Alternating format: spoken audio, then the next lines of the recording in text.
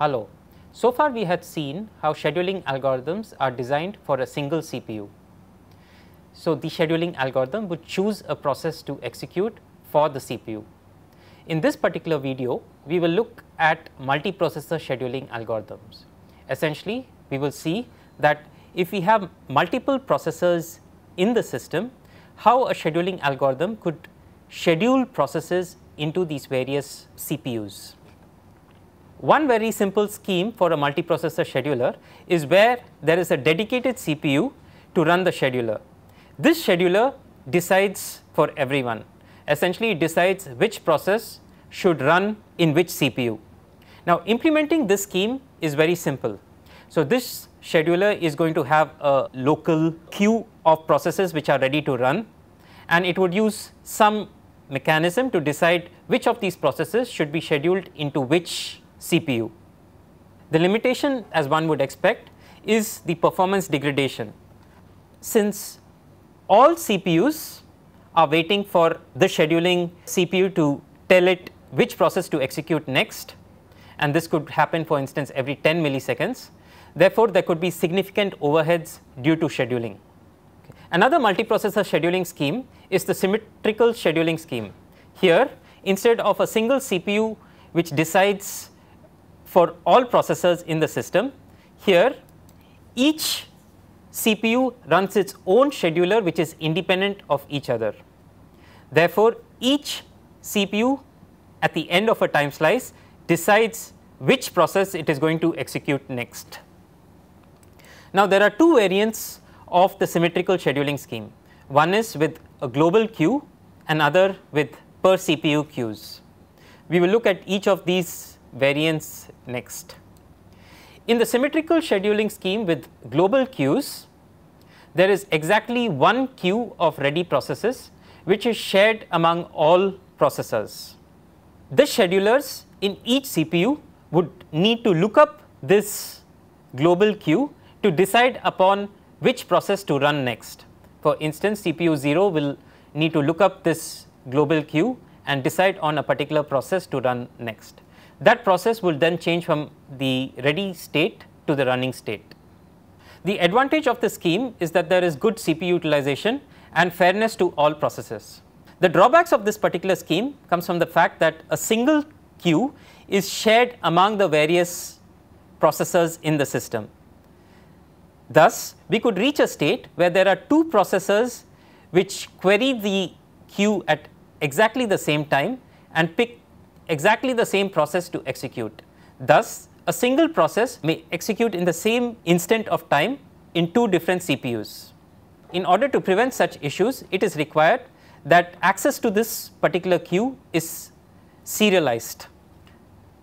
That is, if CPU 0 wants to access the queue, no other CPU should be able to access that queue during that particular time. This ensures that only CPU could choose a process at a particular instant of time. Now, this mechanism of serializing access to the global queue is achieved by a technique known as locking. Now, while this locking mechanism would work, it is not a good idea because it will not scale. Essentially, consider the fact that instead of 4 processors in the system, there are now 64 processors and all these processors have a serialized access to this global queue. Thus, when CPU 0 is accessing this global queue, all other processors will have to wait and this could lead to considerable amount of time during scheduling. Another disadvantage comes from the fact that processor affinity is not easily achieved. So, what is processor affinity? So, processor affinity is an option given to users in the system to choose which processor they want their process to execute in. For instance, a user may decide that he wants his process to execute only in CPU 0 and no other CPUs. Now, in this particular scheme, it is more difficult to implement processor affinity. Now, this particular scheme is used in Linux 2.4 kernels as well as the XV6 operating system. The second variant of symmetrical scheduling is where there is a single CPU queue for every CPU that is each CPU has its own queue of ready processes. Thus, each CPU needs to only look at its own queue to decide which process ne it needs to execute next. Now, this particular strategy uses a static partitioning of the processes. That is, at the start of execution of a process, either the user or the operating system decides which CPU the process needs to execute and the process is then placed in that corresponding CPU's queue. As you can see the advantage is that it is easy to implement, there is no locking mechanism uh, present so it is quite scalable as well as due to locality in the sense that each CPU just needs to look at its own uh, CPU queue and uh, is not bothered about any other CPU queues that are present. Therefore, there is no degradation of performance. The advantage of the scheme is that it is easy to implement and it is scalable. Scalable comes from the fact that there is no locking mechanism or serialization of the accesses to the CPU queues. Another advantage is that the choice is local.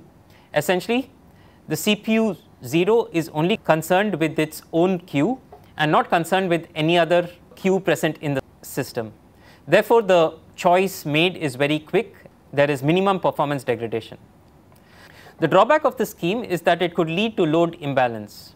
Load imbalance occurs when some CPU queues have a lot of processes to execute or rather some CPUs have a lot of processes in the ready state while other processes such as CPU 3 ha have just a very few processes in the ready state.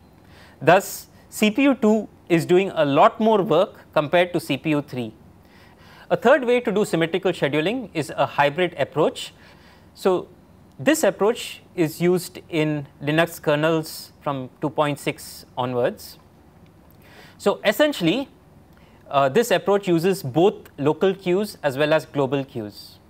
The local queues are the queues which are associated with each CPU.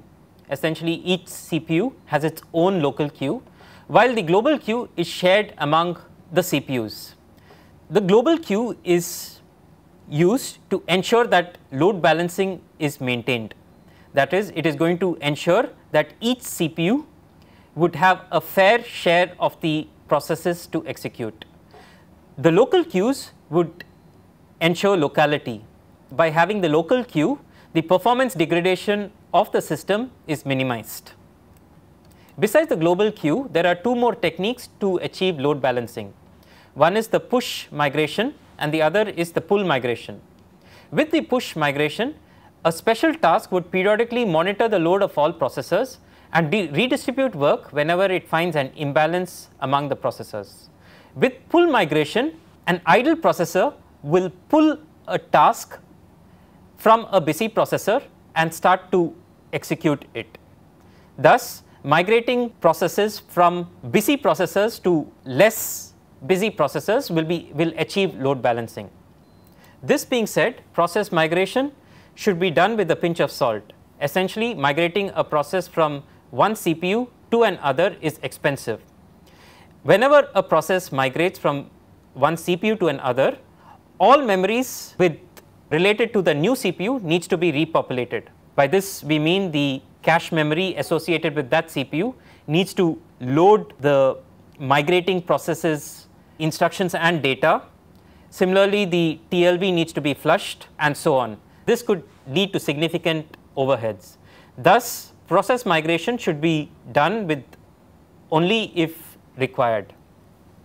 With this we will end this video which looked at multiprocessor scheduling schemes and load balancing among the different CPUs. Thank you.